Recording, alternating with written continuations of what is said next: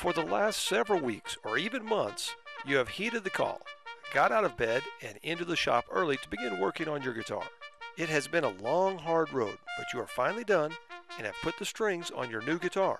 You can hardly wait to hear the first notes come from your creation. But when you play the first chord, all you can hear is. What happened? It just didn't turn out quite the way you had planned. Well, don't throw in the towel just yet. Perhaps all your guitar needs is a good setup to make it the great playing and sounding instrument you had envisioned. Building your own guitar takes a lot of time and patience, and a lot of things have to go right in order to have a decent end product. In this video, I'm going to assume that you have done everything correctly to this point. Your neck angle is correct. The fretboard has been leveled and radiused. The frets have been installed and the fretwork done correctly. I am only going to talk about the proper way of setting up the guitar. If some of the other aspects were not done correctly, then a professional setup may not help. However, an otherwise very nice guitar can be rendered unplayable if it is not set up properly.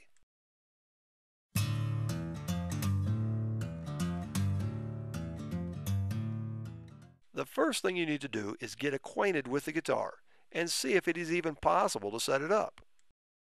Check for obvious things like the proper neck angle and structural things like making sure the bridge is not coming unglued. I also like to inspect the inside of the guitar and make sure that there are no structural issues like loose bracing or things like the top or back having come unglued from the neck block. Once you have established that the guitar is structurally sound, then you can move forward with the setup.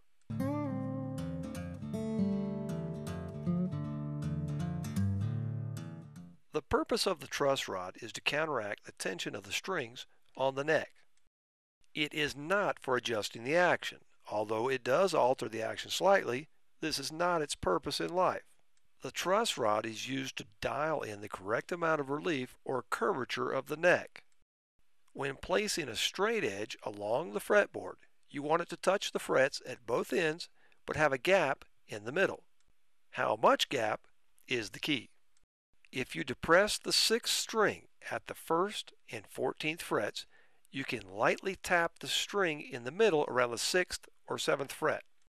If you hear nothing, then the string is touching the frets in this area. If you hear the string hitting the frets as you tap, then you have some relief in the neck. Here is how to get the proper relief. With the string depressed at the 1st and 14th frets, slide a skinny business card under the string around the 6th or 7th fret. It should just go under the string without moving it. If the card bumps the string, then you don't have enough relief and will need to loosen the tension on the truss rod. Do this by turning the truss rod nut counterclockwise. If the card doesn't hit the string, then you could have too much relief and will need to tighten the truss rod by turning the nut clockwise. A word of caution is in order here. If you don't know what you're doing, don't attempt this yourself, as you could damage or even break your truss rod. This will ruin your whole day. Check for the proper relief on the first and sixth strings using the method I have just shown.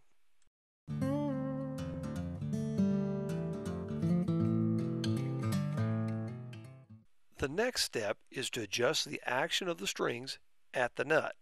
I do this by measuring the distance between the top of the first fret and the bottom of the string with it unfretted, and then again fretted. The difference between these two measurements is the height of the string above the fret.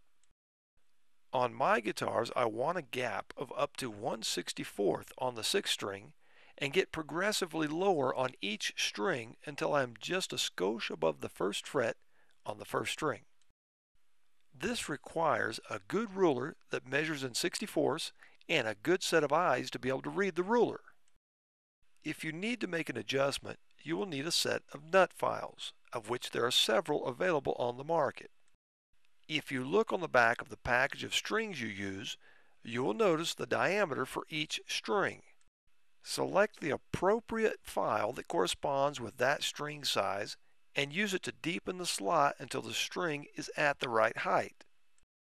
Notice how I am filing the nut slot at about the same angle as the peg head.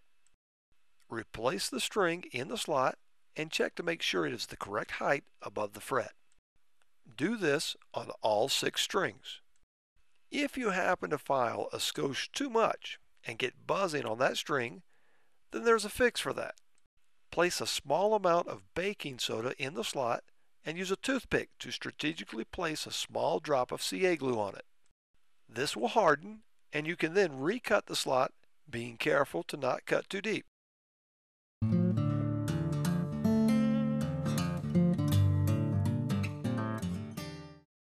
The next step is to check the action at the 12th fret. This is the distance between the bottom of the string and the top of the 12th fret. On my guitars, I set the action at 2.5 millimeters, or around 7 64ths on the 6th string, and 2 millimeters, or 5 64ths on the 1st string. Let's say you need to lower the action 1 64th on all strings you would remove twice that amount of material, or 132nd, from the bottom of the saddle. At this point, you will need to unwind the strings and remove the bridge pins in order to remove the saddle. Notice that everything to this point has been done with the strings under tension.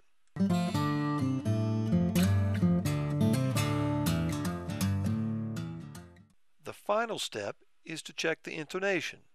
This is done by playing the harmonic of each string at the 12th fret and checking the note to make sure it is in tune.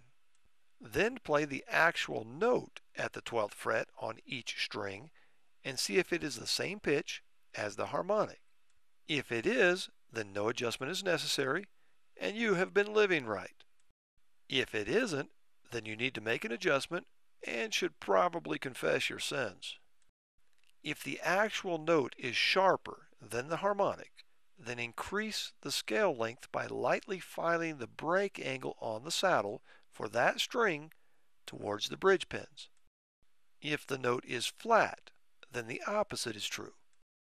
The human ear can hear a sharp much better than it can hear a flat, so some folks set the intonation a skosh on the flat side, just because they can.